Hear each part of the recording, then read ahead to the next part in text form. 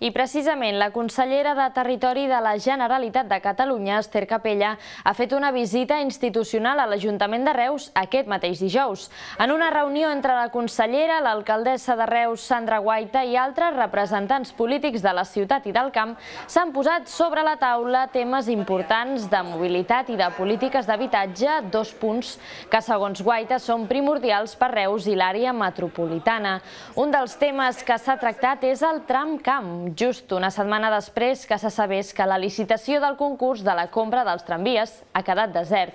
Doncs bé, la consellera ha assegurat que la Generalitat treballa perquè la situació no s'endarrereixi. Doncs eh, treballem per eh, fer-ho possible, per, perquè això no representi cap retard i, en definitiva,